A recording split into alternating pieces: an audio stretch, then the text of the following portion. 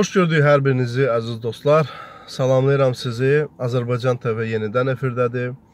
Və bu gün sizinlə çox maraqlı bir mövzu ətrafında fikir mübadiləsi aparacağam. Ümid edirəm ki, bu gün haqqında danışacağım mövzu ilə əlaqədar səsləndirəcəyim fikirlər sizlər tərəfindən normal olaraq qarşılanacaq və mənə də haqq vermiş olacaqsınız. Yəqin ki, artıq sosial şəbəkələrdən xəbər tutmusunuz ki, müəyyən xarici təşkilatların, xarici səfirliklərin maliyyə dəstəyi ilə bir qrup adını feministçi qoymuş qadınlar Bakı şəhərinin mərkəzində rəzalət doğuracaq bir aksiya keçirdilər. Nə üçün rəzalət doğuracaq aksiya deyirəm mən buna?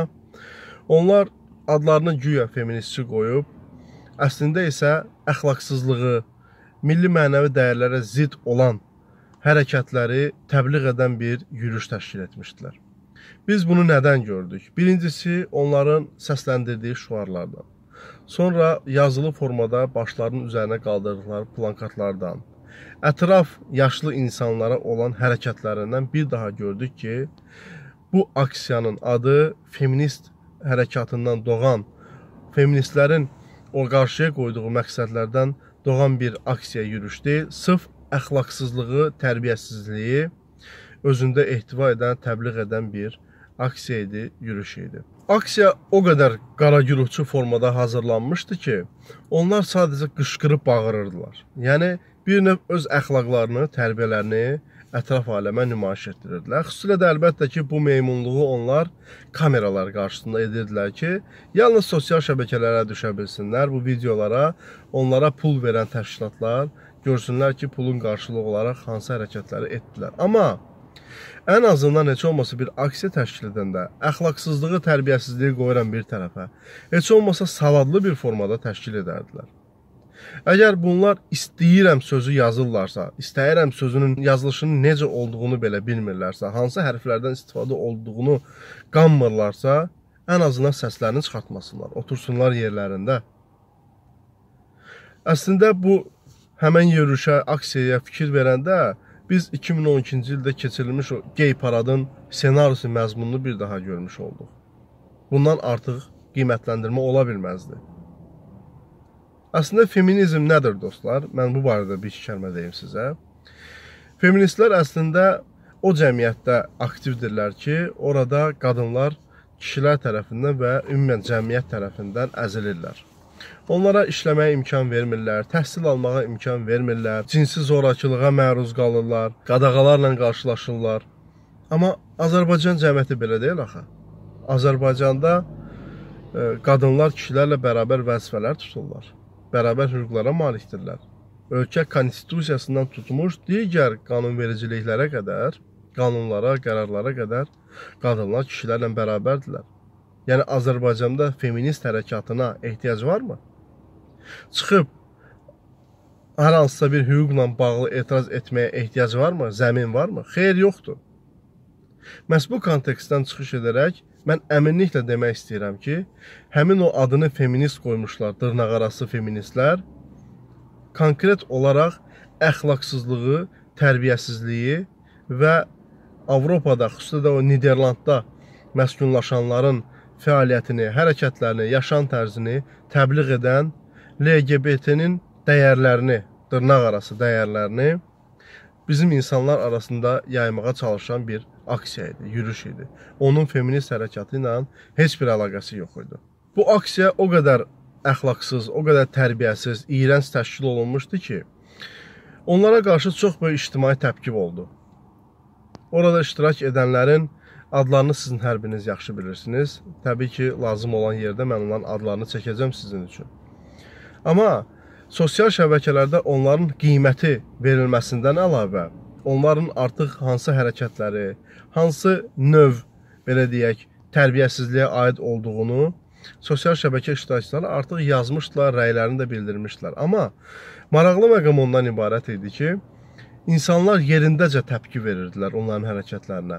Milli mentalitetimizə, milli mənəvi dəyərlərimizə, qadın ismətinə, qadın adına ləkə gətirən hərəkətlərinə elə oradaca yaşlı qadınlarımız, yaşlı insanlarımız tərəfindən bir təpki verildi. Bunun adı ictimai qınaq idi. Amma nələr baş verdi əziz dostlar? Bir yaşlı qadın yaxınlaşır onlardan çəkməməklərini, yəni onu kamerayla çəkməməklərini və onları bu hərəkətləri dayandırmağı xahiş edir. Amma bunun əvəzində həmin o dırnaqarası feministlər jurnalistlərlə birlikdə düşürlər həmin qadının üstünə, hətta əl-qol da atıb döymək belə istəyirlər onu.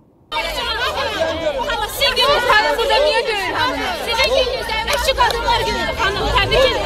Kadınlar günü. Yolla gününüz yolla gününüz. Yolla gayet. Yolla. Buraya da bağlamışlar. Niye üstünüzü göstersin? Açın da. Açın da üstünü. Bu, bu üstünü. Açın da açmırsın üstünü? Niye açmırsın? Və tələbləri nədən ibarətdir? Sən niyə üzünü gizlədirsən? Mən sizə deyim niyə üzünü gizlədir o. Birincisi həmin qadın sizin bu əxlaqsız, tərbiyəsiz hərəkətlərinizə etiraz edir. Çünki o insan bu cür həyat görməyib.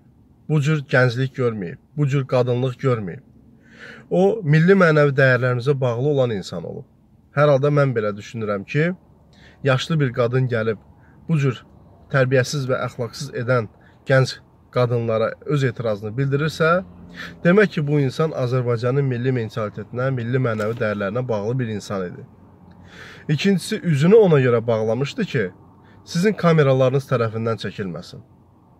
Yaxşı bilir ki, digər qadınlar kimi sabah sosial şəbəkələrdə onun da videosunu, şəklini qoyub nəsil nəcabətini təhqir edəcəksiniz. Bax, buna görə o üzünü bağlamışdı. Sizin tərbiyəsizliyinizdən, əxlaqsızlığından özünü qorumaq üçün bunu eləmişdi. Üçüncüsü isə həmin qadının etirazı nəzərə alın ki, bütövlükdə Azərbaycan cəmiyyətinin və Azərbaycan qadınlarının həmin o dırnaqarası feministlərin olan yürüşünə, ümumilikdə isə LGBT-nin Azərbaycanda milli mənəvi dəyərlərimizə zidd olan həmin o dırnaqarası dəyərləri təbliğinə, yayılmasına qarşı etirazı idi. Bir məqamı da qeyd etmək istəyirəm ki, əslində bu gün Azərbaycanda LGBT-nin dəyərlərinin təbliği ilə əlaqədar olaraq baş verən proseslər heç də sizi təəccübləndirməsin. Ümumiyyətlə qərb dünyası bu cür e, hərəkətlərə, bu cür belə deyək, kampaniyalara artıq öyrəşib. Hələ Sovet dövründə Sovet cəmiyyətini içəridən parçalamaq üçün, dağıtmaq üçün təxminən 70-ci illərdən başlayaraq rock-n-roll kimi, enli balaq şalvar kimi, enli varatnikli köynəklər kimi bir dəyərsizliyi aşılamağa başladılar.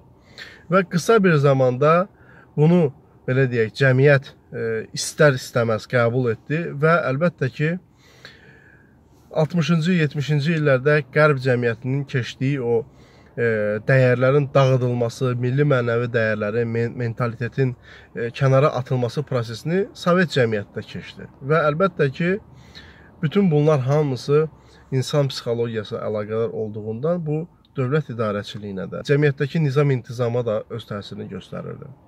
Əlbəttə ki, bu gün də eyni proses gedir. Onlar Azərbaycan dövlətini milli dövlət olaraq qalmasını istəmirlər, arzulamırlar. Ona görə də hər bir məqamda hücum edirlər və ən yaxşı variant da Azərbaycan cəmiyyətini içəridən parçalamaqdır. Azərbaycan gəncliyini o milli mentalitetdən, milli dəyərlərdən uzaq tutmaqdır. Bir növ e, təsəvvür edin ki, cəmiyyətimiz e, böyük bir ağacdır, dərin kökləri var, torpağa bərkiyib onu heç bir zaman nə külək, nə başqa bir vasitə ilə aşırmaq mümkün deyil. Amma bu cür LGBT dəyərlərinin təbliği ilə sosial şəbəkələrdə söyüşün, təhqirin, e, dəbə mindirilməsi ilə, o aradan pərdənin götürülməsi ilə, müəllimlərin, qadınların mütəmadi olaraq, sistemli olaraq təhqir olunması ilə, sosial şəbəkələrin bir növ e, insan daxilindəki o aqressiyanın, tərbiyəsizliyin, əxlaqsızlığın özünü ifadə formasına çevrilməsi ilə Azərbaycan cəmiyyətini dipçək cəmiyyətinə çevirməyə çalışırlar. Yəni istədiyin vaxt yapış onun gövdəsindən və qaldır yuxarı məhv elə. Yəni bizi dərin köklərimizdən uzaqlaşdırmağa çalışırlar və bu gün də həmin o aksiyada iştirak edən Xədicə İsmail kimi, Nərmin Şahmazadə kimi, Vəfa Nağıyeva kimi, Rəbiyə Məmmədova kimi, Fuad qəhrəmanının qızları kimi insanlar, onlara qadın da demək olmur, onlar məhz cəmiyyətimizi öz tarixi köklərindən, milli mənəvi dəyərlərindən ayırmağa çalışırlar. Onların hərəkəti, fəaliyyəti sırf buna hesablanıb. Artıq təsəvvürünüz var ki, və ilkin ehtimallarınız da var ki, bu aksiya, bu yürüşün əsas təşkilatçıları kimlərdir və hansı məqsədə xidmət edir. Amma burada bir xüsusi məqam da var və böyük təəssüf doğurur. Azərbaycanın siyasi partiyalarından yeganə olaraq Azərbaycan Xalq Cəbhəsi partiyası və onun sədri Əli Kərimli oldu ki, bu əxlaqsızlığı və tərbiyəsizliyi dəstəklədi. Hətta o post yazaraq qadınların bu yürüşünə, aksiyasına haqq qazandırmaqla yanaşı, onların tərbiyəsiz və savadsız şəkildə yazdıqları plankatları belə paylaşdı öz səhifəsində. Amma çox çəkmədi ki, öz tərəfdarları tərəfindən belə Əli Kərimli etirazla qarşılandı. Və hər bir kəs öz fikrini ifadə etdi ki, Əli Kərimli əslində çox böyük siyasi səhvə yol vermiş oldu. Bu əxlaqsızlığı, tərbiyəsizliyi dəstəkləməklə Əli Kərimli özünün və Azərbaycan Xalq Cəbhəsi partiyasının əxlaqsızlığa və tərbiyəsizliyə necə dəstək verdiyini, onun əxlaqsızlıqla bağlı mövqeyini ortaya qoymuş oldu. Ona görə də çox çəkmədi. Təxminən bir 15-20 dəqiqə ərzində Əli Kərimli həmin postunda düzəliş elədi. Şəkillərin bir çoxunu yığışdırdı oradan. Hətta əlavə şərh belə yazdı ki, bəs mən əxlaqsızlığı, tərbiyəsizliyi deyil, sırf sərbəst toplaşma azadlığını müdafiə edirəm. Əli Kərim, sən kimi aldadırsan axı? Sərbəst toplaşma ilə bağlı orada hər hansısa bir hərəkət, fəaliyyət var idimi? Polislər onlara toxunurdularmı? Yoxsa onlara ümumiyyətlə qadağa qoyulmuşdu ki, yürüyüş aksiya keçirməsinlər? Onlar rəsmi qaydada müraciət etmişdilər və müraciətlərinə də cavab verilmişdi ki, filan-filan yerlərdə gedib aksiyanızı keçirə bilərsiniz. Sərbəst toplaşma ilə bağlı hər hansısa bir məlumat, hər hansısa bir qanun pozuntusu var idimi? Xeyr, yox idi. Sənin hərəkətin birbaşa əxlaqsızlığın və tərbiyəsizliyin müdafiəsi ilə əlaqədar idi. Sənin müdafiə etdiklərin kim idi? Gəlin bir-bir baxaq. Xədicə İsmail ən böyük təşkilatçıdır. Adını da feminist qoyub. Xədicə İsmail o adamdır ki, videoları ilə bütün dünyaya tanışdı o adam. Və yaxud da götürək Nərmin Şahmarzadəni. Bu adam milli qəhrəmanımız Mübariz İbrahimov təhqir etmiş insandır. Onu necə müdafiə etmək olar? Onun hərəkətinə necə haqq qazandırmaq olar? Vəfa Nağıyeva, Rəbiyə Məmmədova, Fatimə Mövlanlı, Fuad Qəhrəmanlının qızları bunlar haqqında ümumiyyətlə heç danışmıram. Ki, Fuad Qəhrəmanlının qızı necə gedib Niderlandda və yaxud da digər Avropa ölkələrində LGBT-nin bayrağını salıb çiyinlərinə gəzir. Onun çiyinlərində Azərbaycan bayrağı olmalıdır, LGBT-nin yox.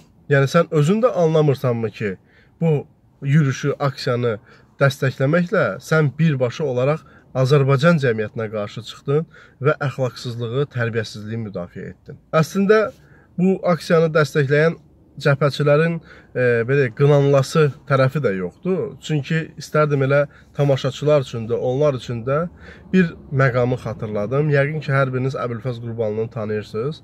Azərbaycan Xalq Cəbhəsi Partiyasının Gənclər Birliyinin sədri olub.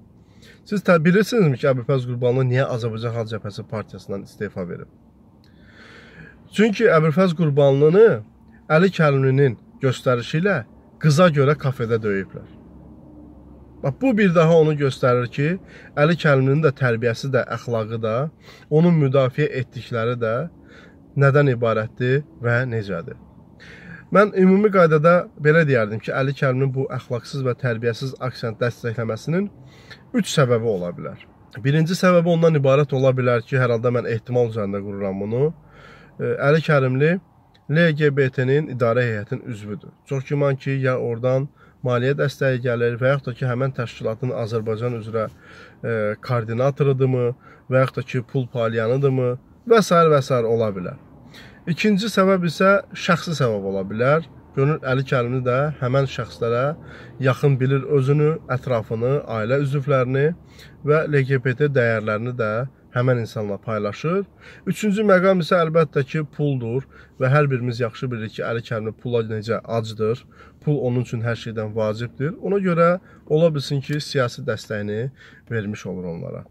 Və əlbəttə ki, sonda bunu biz belə deyək də, e, pulla əlaqələndirsək də siyasi səriştəsizlik kimi də qiymətləndirməliyik. Çünki Əli Kərimli siyasətçi olsaydı, hər halda cəmiyyət tərəfindən böyük ictimai qınaqla qarşılaşmış bu əxlaqsız yürüşü heç vaxt dəstəkləməzdi. Bu məqamda bir sual da yaranır ki, görəsən Əli Kərimli özü razı olarmı ki, onun oğlu, qızı bax bu cür yürüşlərdə, aksiyalarda iştirak etsinlər? Bu bu cür çiyinlərinə LGBT-nin bayrağını salsınlar, başlarının üzərinə o cür tərbiyəsiz və əxlaqsız plankart qaldırsınlar və hərəkətlərə yol versinlər, yürüş keçirsinlər, aksiya eləsinlər. Yəqin ki, hər halda Əli Kərimli razı olar ki, bu cür aksiyanı dəstəklədi. Bir sözlə əziz dostlar, biz hər dəfə bu barədə danışırıq. Əli Kərimlini, onun trollarını, cəbhədə e, belə deyək, yer almış o şəxsləri, əxlaqsızlığı, tərbiyəsizliyi, cəmiyyətimizə zidd olan dəyərləri təbliğ etdiklərinə görə, dəstəklədiklərinə görə daim ifşa etmişik, bundan sonra da edəcəyik. Amma siz də dayanmayın dostlar. Siz də bu videoya baxırsınızsa videonu paylaşın. Öz fikirlərinizi yazın. Çəkin videoya, yerləşdirin sosial şəbəkələrə. Qoyun böyük bir ictimai qınaq formalaşsın ki, Əli Kərimli kimilər bizim cəmiyyətimizi dağıtmağa çalışmasın. Əli Kərimli kimilər həmin o adını dırnaqarası feminist qoymuşların əxlaqsız və tərbiyəsiz yürüşlərinə, aksiyalarına siyasi dəstək verməsinlər. Əgər belə olacaqsa, biz cəmiyyətimizi də, dövlətimizi də Əli Kərimli kimilərdən, dırnaqarası feministlərdən qorumuş olacağıq. Çünki bizim gələcəyimiz var. Gələcəyimiz isə övladlarımızın əlindədir. Biz övladlarımıza bu dövləti, bu cəmiyyəti saf bir formada ötürməliyik. Sağ olun dostlar, hələlik.